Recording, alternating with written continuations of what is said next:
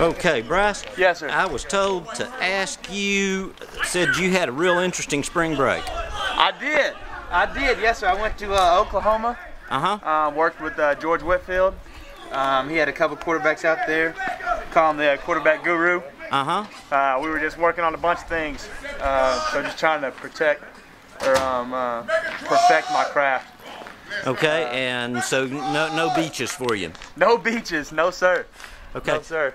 And let me ask you, man, I got to shoot up at everybody. Uh, that, let me ask you, you waited in line, and now you're the man. How does that change things for you? Uh, it doesn't at all. It only makes me work harder because I know that there's two other guys that are doing the same thing that I did. Uh, so there, there's no uh, complacency whatsoever.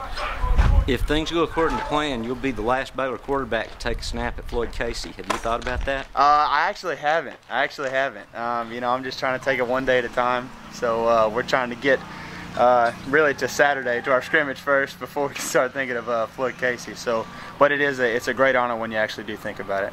Okay. Hey, thank you very much. Yes, sir.